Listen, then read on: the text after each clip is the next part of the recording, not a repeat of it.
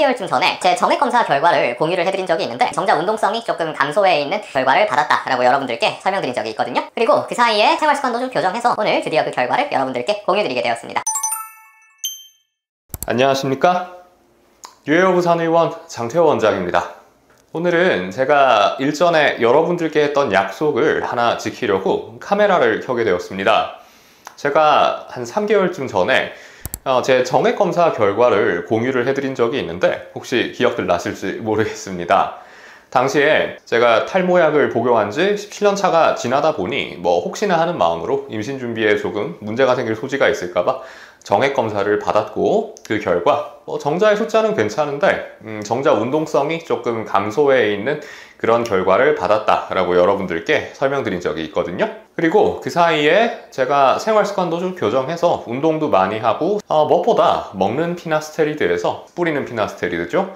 핀주배로 약을 잠시 변경한 뒤에 혹시 정액 검사 수치가 정상화되는지 한번 여러분들께 설명해 드리겠다라고 약속을 드렸었습니다. 그리고 오늘 드디어 그 결과를 여러분들께 공유 드리게 되었습니다. 지금 보시는 사진이 제가 이번에 실시한 정액 검사 결과지입니다. 결론부터 바로 넘어가자면 모든 수치에서 정상 범위라는 결과를 받았습니다. 정액의 숫자도 더 늘어났고요. 그리고 정자의 운동성 역시 뭐 아주 엄청나게 뛰어나다 이런 수준은 아니지만 그래도 특별히 이상이 있다라고 판정하기는 어려운 수준까지 많이 개선이 되었습니다. 그리고 탈모약을 임신 준비 중이시더라도 무조건 끊으실 필요까지는 없다. 물론 탈모약을 드시기 전부터 무정자증이 있으시다든지 관련으로 문제가 있으셨다라면 잠시 끊으셔야 될 필요가 있겠지만 그렇지 않으시다 완전히 정상이시다라면 약을 계속 드시면서 임신 준비를 하셔도 된다라는 점 여러 번 설명드린 적이 있는데요. 오늘 제가 공유드리는 이 정액 검사 결과가 다시 한번 여러분들께 입증해드리는 결과라서 아, 못내 기분이 좀 좋습니다.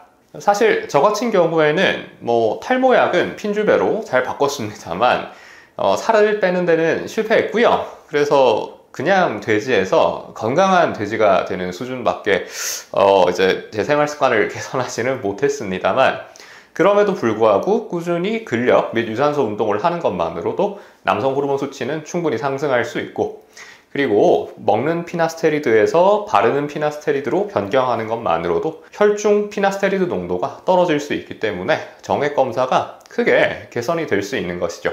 임신 준비 때문에 탈모약을 한 2년, 3년 끊으시는 고객님들을 종종 뵙게 되는데 뿌리는 피나스테리드, 핀주베라는 대안이 없던 시절에야 뭐 그러려니 했는데 이제는 꼭 그러실 필요가 없겠다. 제 정액 검사 결과를 보시고 여러분들 역시 임신 준비를 하시더라도 탈모 치료를 완전히 놓지 않도록 열심히 저를 따라와 주시면 감사하겠습니다. 감사합니다. 장태호였습니다.